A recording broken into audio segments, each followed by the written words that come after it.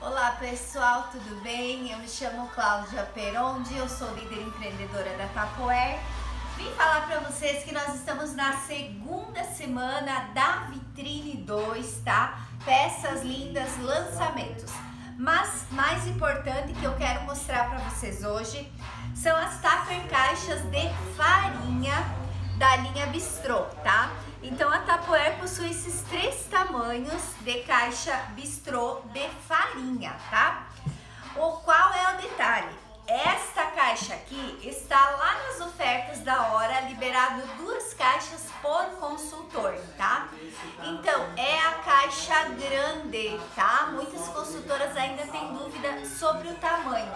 Lá na oferta da hora tá escrito 3,5 quilos, mas o tamanho dela é de 5,5 litros, tá bom?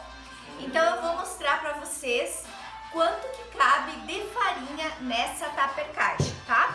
Vocês vão perceber que não vai... Aqui eu tenho um pacote inteirinho, podem vir ver de perto. Eu tenho um pacote inteirinho, eu só abri para mostrar para vocês. Vem de perto agora, Cris. Olha só. Vocês vão ver que não cabe o pacote inteiro de 5 quilos. Não vai caber. Vai sobrar um pouco no pacote, ó. Mas esta é a peça maior de farinha que a Tapoer tem, tá?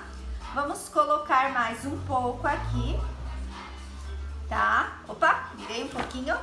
Vamos dar uma ajeitada. Vai um pouquinho mais. Vamos aproveitar bem, né? Olha só. Olha, se eu quiser colocar um pouco mais, eu posso. Um pouquinho mais. Vamos lá. Olha só, tá?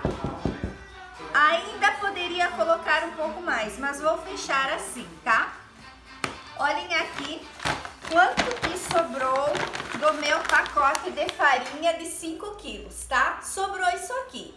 Eu vou utilizar este tamanho, que é de 2,4 litros, para colocar o restinho. Se você não tem as duas peças, você pode deixar o restinho no pacote mesmo, né, na sua dispensa, ou você pode utilizar essas duas peças da Tapoer, tá legal?